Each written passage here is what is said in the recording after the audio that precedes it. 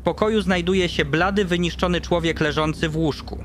Odwraca ku tobie wzrok i choć na jego twarzy widać uśmiech, źrenice zdają się cię nie widzieć. Zwraca się do ciebie po imieniu, co tylko wzmaga twój niepokój.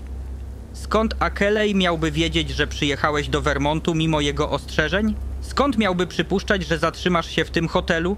Nie zbliżając się ani o krok, pytasz go o zdrowie i o sytuację na farmie. Po chwili ciszy słyszysz odpowiedź. Czuję się świetnie, doktorze Wilmart. Nigdy nie czułem się lepiej. Brzmi na przekonanego, lecz zachowuje się tak, jakby nasłuchiwał czegoś poza twoim zasięgiem. Nagle słyszysz wibracje dobiegające z podłóżka. Bardzo przypominają dźwięk z nagrań, które wysłał ci stary wieśniak.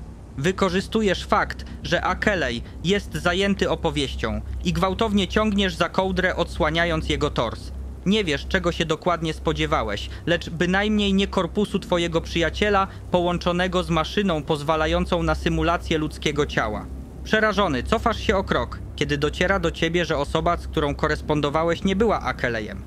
Nie jesteś nawet pewien, czy ten mężczyzna naprawdę istniał. To jakiś dziwny konstrukt, fuzja trupich szczątków i maszynerii zdolnej do imitacji życia.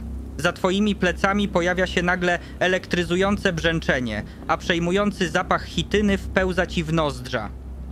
Kiedy para szczypiec najeżonych ostrymi włoskami podobnymi do kabli dotyka twoich ramion, rozumiesz, że twoje szczęście się skończyło. Koniec. Nie udało się śmiertelniku. Historia zakończyła się, a ty nie masz pojęcia, co się dzieje. Zacznijmy jeszcze raz. I tym razem niech twoje wybory będą lepsze.